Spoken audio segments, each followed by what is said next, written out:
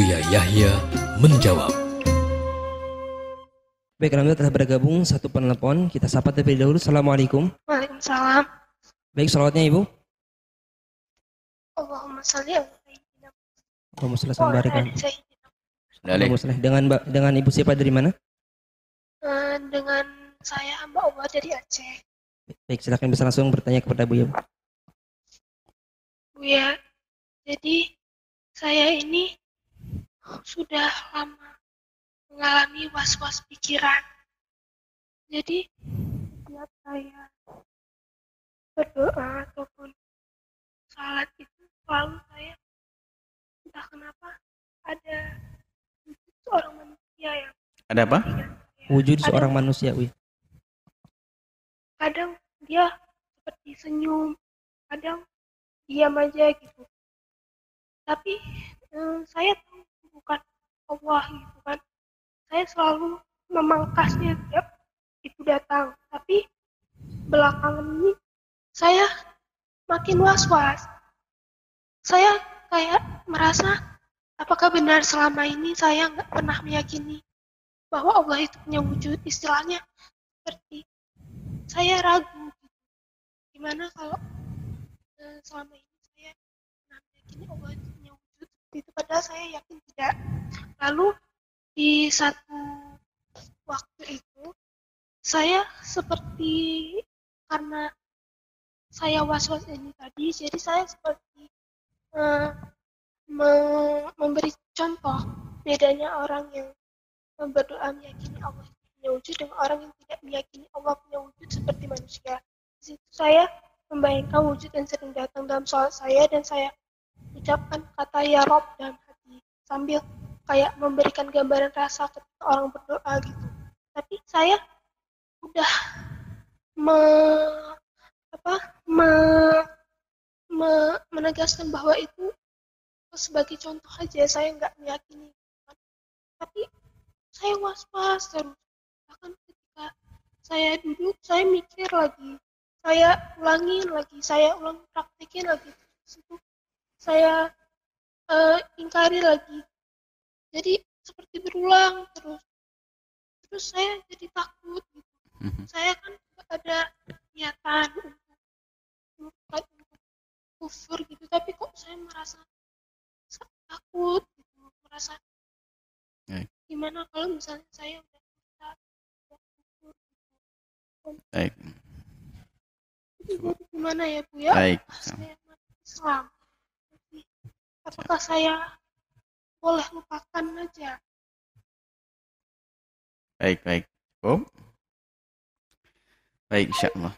Jadi, beliaunya terkena was-was. Sehingga di saat memohon, di saat memohon,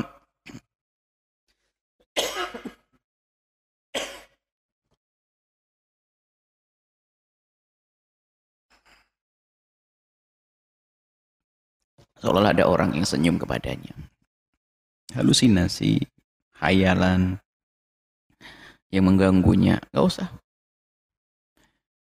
Orang ketakutan itu sebetulnya karena dikuasai oleh hayalannya. Melihat pohon, pohon bergoyang katanya ada hantu. Sepedanya nggak bisa jalan katanya. Kenapa? Yang diinjek salah. Bukan bedalnya. Ya, jadi macam-macam sebab. Jadi kalau orang sudah dikuasai oleh rasa takut dan sebagainya kadang-kadang ya begitu. Was-was juga seperti itu. Maka yang harus Anda lakukan tepis itu was-was. Pertama, supaya Anda tidak terlalu khawatir, Anda itu punya iman makanya. Itu menandakan kalau Anda tuh punya iman. Cuma lagi terganggu saja. Anda punya iman, hanya terganggu saja dengan si was-was Anda. Maka Anda ini diuji oleh Allah. Anda kena penyakit seperti yang lainnya. Maka Anda dengan mujahadah itu akan mulia. Pertama, Anda punya iman. Jangan berkecil hati. Jangan Anda katakan Anda orang yang tidak beriman. Anda beriman. Buktinya apa? Anda takut kalau Anda sudah salah beriman. Itu menunjukkan Anda beriman. Yang kedua, Anda harus mujahadah, jihad. Dengan Anda memerangi ini adalah pahala jihad. Jihad, jihad di dalam memerangi was-was itu. Terus, maka Anda wajib memerangi. kalau Anda, anda perangi, iman Anda hilang nanti. Itu seperti orang punya sakit, lalu dia penuh kesabaran, lalu memerangi, lalu melawan. Jadi anda itu jihad. Dengan melawan was-was anda itu sesungguhnya anda jihad, anda yakini itu. Maka terus lawan. Dan yakini kapan anda melawan, anda dapat pahala. Kapan anda melawan, anda dapat pahala. Jangan merasa putus asa, enggak. Mujahadah. Anda punya lawan saat ini. Lawannya adalah itu tadi, was-was anda. Maka anda melawan was-was itu jihad. Jadi anda dapat pahala double. Yang pertama adalah pahala iman anda. Yang kedua adalah pahala mujahadah tadi. Jihad untuk merangi was-was anda. Pokoknya Anda lawan, betul. Jadi singkatnya semacam itu. Kalau ada menggambarkan Tuhan seperti manusia, Anda tepis. Tidak, Allah tidak seperti itu. Dan terus Anda tepis. Kapan datang Anda tepis dan Anda senyum setelah itu. Oh, dapat pahala. Eh, setan.